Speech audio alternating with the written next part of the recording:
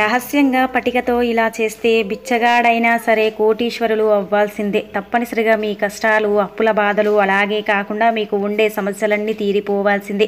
పటిక గురించి మనందరికీ తెలిసే ఉంటుంది. పటిక నెగిటివ్ ఎనర్జీని తీసేయడానికి చక్కగా ఉపయోగపడుతుంది. చాలా తక్కువ ఖర్చుతో మనకు ఉండే సమస్యలను తొలగించుకోవచ్చు అని మన పురాణాలే చెబుతున్నాయి. పటికను ఉపయోగించి ఇప్పుడు చెప్పుకునే ఈ చిన్న చిన్న పరిహారాలు అంటే ఈ ఉపాయాలను ఎవరైతే పాటిస్తారో వారికి ఇక తిరుగుండదు అని చెప్పు చెప్పొచ్చు కోటీశ్వరులు అవ్వడాన్ని ఇక ఎవరూ ఆపలేరు.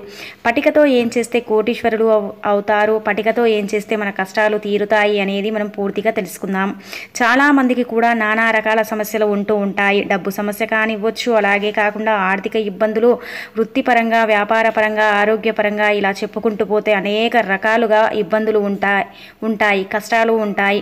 మానవ జీవితంలో ఇవన్నీ సహజం. వాటిని వాటిని ఎదుర్కొని ముందుకు వెళ్ళినప్పుడే మన జీవితం అనేది చక్కగా సాగుతుంది.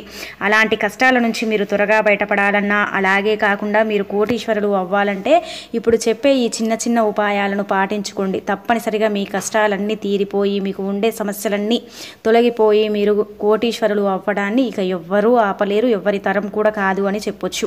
అసలు పటికతో ఏ పనులు చేసుకుంటే మనకు కలిసి వస్తుందో ఇప్పుడు మనం తెలుసుకుందాము. చాలా మటుకు కూడా మన ఇంట్లో అది బాలేదు ఇది బాలేదు ఈ కష్టాలు వస్తున్నాయి ఆ కష్టాలు వస్తున్నాయని నానా రకాలుగా ఇబ్బందులు పడుతూ ఉంటారు.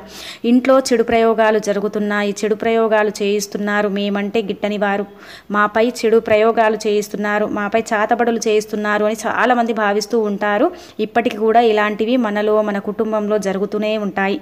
వాటి నుంచి మీరు త్వరగా కోలుకోవాలన్నా వాటి నుంచి మీరు త్వరగా బయటపడాలన్నా మీకు ఒక్క వారం రోజుల్లోనే వాటి నుంచి మీరు బయటపడాలంటే ఈ పరిహారాన్ని తప్పనిసరిగా పాటించి చూడండి.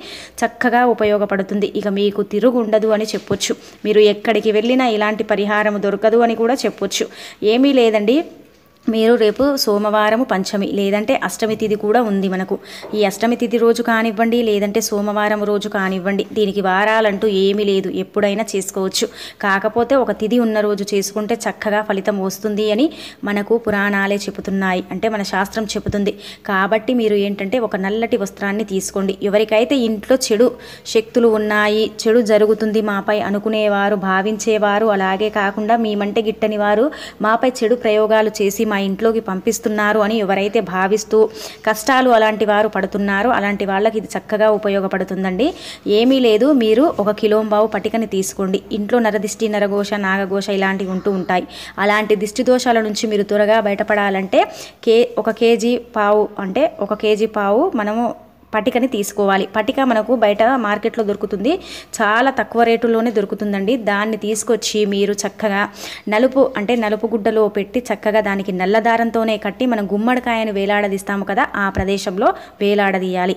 ఇలా వేలాడదీయడం వల్ల మన ఇంట్లోకి ఏది చెడు అనేది రాదు. హండ్రెడ్ పర్సెంట్ ఫలితం అనేది వస్తుంది. అలాగే కాకుండా మీ ఇంట్లోకి చెడు రాకుండా మీకు అన్నీ కూడా కలిసి వస్తాయని చెప్పొచ్చు. మీ ఇంట్లో ఎలా నెగిటివ్ ఉంటుందో అలా ఆ పటిక అనేది కరిగిపోవడం అనేది జరుగుతుందండి. అలాగే కాకుండా మీకు ఒకవేళ నెగిటివ్ ఉందని మీకు అనిపించినట్టయితే ఒక వారం రోజుల తర్వాత ఆ పటికను తీసి చూడండి. పసుపు రంగులోకి మారడం అనేది జరుగుతుంది. అలా ఉన్నప్పుడు ఏంటంటే నకారాత్మక శక్తులు నెగిటివ్ ఎనర్జీ మొత్తం అది గ్రహించుకున్నది అని అర్థం. అలా తీసి మీరు మళ్ళీ దాన్ని వేరే తెచ్చి మళ్ళీ మార్చుకోవచ్చు. ఇలా చేసుకోవడం వల్ల కూడా చక్కగా ఉంటుంది. మీరు అలాగే కాకుండా ఇంట్లో విపరీతంగా మాకు చెడు జరుగుతుంది అండి. ఇంట్లోకి మాకు అన్నీ కూడా వస్తున్నాయి. మాకు ఏం చేయాలో అర్థం కావడం లేదు. ఇంట్లో అసలు సుఖం అనేదే లేదు. అలాగే కాకుండా సుఖ సంతోషాలు లేకుండా మాకు ఎప్పుడు చూసిన బాధలే ఎప్పుడు చూసిన కష్టాలే ఒకదానితో పాటు ఒకటి వస్తున్నాయి. వాటి నుంచి మేము బయటపడాలి అని ఎవరైతే భావిస్తున్నారో ఎవరైతే అనుకుంటున్నారో వాళ్ళు ఈ ప్రయోగం చేసి చూడండి. ఒక అమావాస్య రోజు చేస్తే ఈ ప్రయోగం చక్కటి అద్భుతం అద్భుతమైన ఫలితం వస్తుంది. లేదంటే అష్టమి తిథి పౌర్ణమి తిథి ఆదివారము మంగళవారము చేసుకున్నా అంతే వస్తుంది. కానీ అమావాస్య రోజు చేసుకుంటే చక్కగా ఉంటుంది అని చెప్పొచ్చు. నలుపు వస్త్రాన్ని తీసుకుని అందులో పటిక ముక్క అలాగే వచ్చేసి ఐదు జీడి గింజలు ఐదు గవ్వలు దాంట్లో కాస్త కుంకుమ పసుపుని వేసి మీరు చక్కగా మూట కట్టి దానికి ధూపం చూయించి ఆ తర్వాత మీ ఇంట్లో మన ఇంటి ప్రధాన ద్వారం ఉంటుంది కదండి ఆ గుమ్మానికి లోపల నుంచి కట్టుకుంటే మన ఇంట్లోకి చెడు ఏది రాదు. మనం ఎక్కడికి వెళ్ళి తిరిగి ఇంటికి వచ్చినా మనతో వచ్చేది మన ఇంట్లోకి కూడా ఆకర్షించబడదు అని మనకు ఇది తంత్రశాస్త్రం చెబుతుంది. ఈ పరిహారాన్ని తప్పనిసరిగా పాటించి మీ ఇంట్లోకి ఏది రాకుండా చూసుకోండి. చక్కగా ఉంటుంది. అలాగే కాకుండా మీకు అప్పుల బాధలు ఎక్కువగా ఉన్నాయి. వాటిని తీర్చలేక మేము ఇబ్బందులు పడుతున్నాము. అప్పులు తీర్చలేక అప్పులపై అప్పులు చేసి చాలా మటుకు కూడా అలసిపోయాము. అస్సలు రా అస్సలు తీర కుదరడం లేదని ఇబ్బందులు పడుతూ ఉంటారు. అలాంటి వాళ్ళు ఏంటంటే చక్కగా మీరు ఒక తమలపాకుని తీసుకోండి. సింధూరం అండి మనం ఆంజనేయ స్వామికి పెడుతూ ఉంటాము కదా ఆరెంజ్ కలర్లో ఉండే సింధూరం. తమలపాకును తీసుకొని దానిపై సింధూరాన్ని వేసి పటిక ముక్కను ఉంచి చక్కగా దాన్ని మీరు మడత పెట్టండి. మీ అప్పుల బాధలు తీరిపోవాలి. అప్పిచ్చిన డబ్బు కూడా తిరిగి రావడానికి అప్పుల బాధలు తిరిగిపో అంటే తీరిపోవడానికి ఈ పరిహారము చక్కగా ఉపయోగపడుతుంది. దానికి మీరు చక్కగా ఏంటంటే చుట్టండి. చుట్టి మీరు ఏం చేయాలంటే కనుక మీరు వచ్చేసి దాన్ని చక్కగా చుట్టి ఎరుపు రంగు దారం ఉంటుంది కదండి ఎరుపు రంగు దారాన్ని తీసుకొని మీరు దాన్ని కట్టండి. అంటే చక్కగా చుట్టిన తర్వాత దాన్ని ఒక పొట్లంలాగా కట్టండి. మీరు నేను ఇక్కడ చూయించే విధంగా చేసుకోండి సరే సరిపోతుందండి. అంతేకాకుండా ఇలా చేసుకోవడం వల్ల తప్పనిసరిగా మీరు నమ్మకంతో చేసుకుంటే అన్నీ కూడా మీకు సమస్యలు అలాగే అప్పుల బాధలు అన్నీ తీరిపోతాయి. హండ్రెడ్ పర్సెంట్ ఫలితం అనేది వస్తుంది. మీరు ఇలా తమలపాకు తీసుకొని దానిపై సింధూరాన్ని పెట్టి దాంట్లో ఒక పటిక ముక్కని పెట్టండి. చిన్న పటిక ముక్కనే పెట్టి ఆ తర్వాత దాన్ని చక్కగా మడత మడత పెట్టి చుట్టండి. చుట్టి దాన్ని ఎరుపు రంగు దారముతో కట్టండి.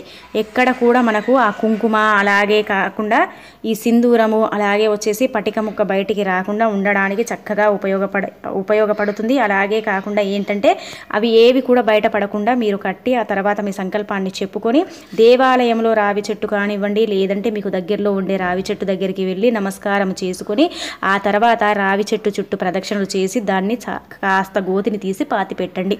ఇలా చేస్తే అప్పిచ్చిన డబ్బు తిరిగి వస్తుంది. మీ అప్పులు త్వరగా తీరిపోవడానికి అవకాశం ఉంటుంది అని మనకు తంత్రశాస్త్రమే చెబుతుంది. కాబట్టి ఈ పరిహారాన్ని కూడా చేసుకోండి. అప్పుల బాధల నుంచి త్వరగా మీరు బయటపడవచ్చు.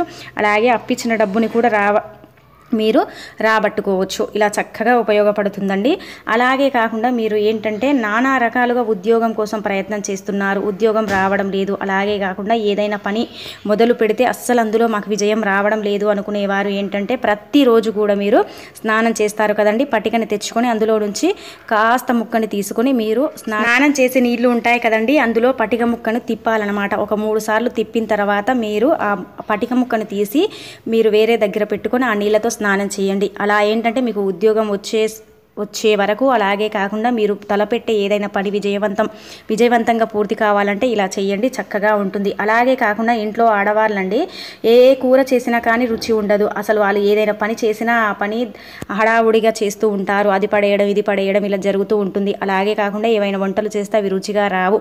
అవి ఎందుకు అలా రుచిగా రావంటే ఇంట్లో ఉండే ఏదైతే నెగిటివ్ ఉంటుందో అది దానిపై కూడా ప్రభావం అనేది చూయిస్తుందన్నమాట. నకారాత్మక శక్తులు ఉండడం వల్ల ఏంటంటే మనము చేసిన పనులు కానివ్వండి అలాగే మనం ఏదైనా వంట చేసినా అది రుచిగా రాదు అని మన పరిహార శాస్త్రం చెబుతుంది.